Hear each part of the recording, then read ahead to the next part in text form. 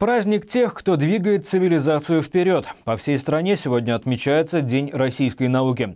В этот день более ста каролинских школьников познакомились с особенностями высшего образования и научными направлениями, в которых работают ученые МАРГУ.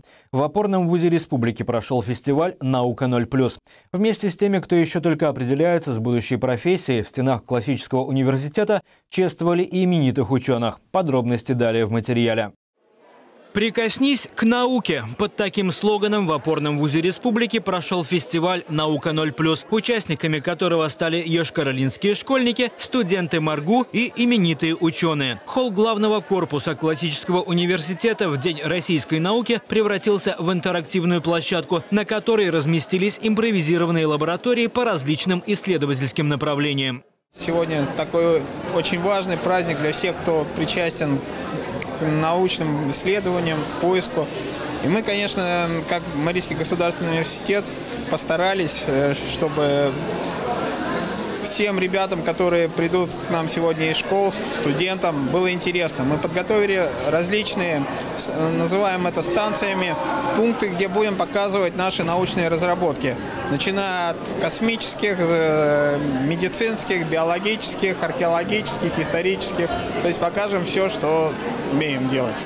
В День российской науки преподаватели вуза провели открытые лекции по различным предметам, на которых в доступной широкой аудитории форме рассказали о направлениях исследований по базовым направлениям подготовки. Стоит отметить, что за последние годы Марийский государственный университет не только получил статус опорного вуза Республики Мариэл, но и существенно усилил работу по развитию науки.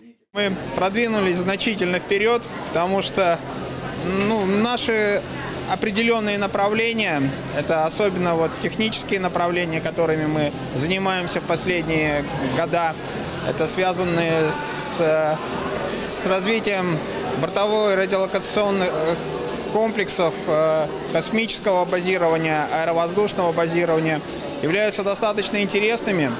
И э, крупные российские организации – с нами сотрудничают, и это говорит об актуальности и выходе на передовые рубежи на науки в этом направлении. Мы в первую очередь рассматриваем науку с точки зрения, а какую она дает отдачу экономическую, и в этом плане у нас тоже есть определенные продвижения вперед. В частности, наша разработка последняя в области программного обеспечения для моделирования различных сложных систем запатентовано. И вот у нас приобрели патенты на сумму 8 миллионов рублей, чтобы пользоваться нашим программным обеспечением. Крупная московская организация. Ну и в целом мы приносим определенный доход. И у нас в год получается порядка 55 миллионов по науке.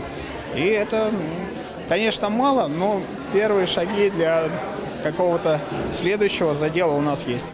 Финалом фестиваля «Наука 0+,» стала торжественная часть, на которую пригласили всех гостей Марийского госуниверситета. Зрители увидели концерт, подготовленный студентами, услышали поздравления от Федерального Минобрнауки и стали свидетелями награждения почетных профессоров опорного вуза. Мнение, в котором были едины практически все участники фестиваля, состоит в пожелании, чтобы такие акции проводились как можно чаще.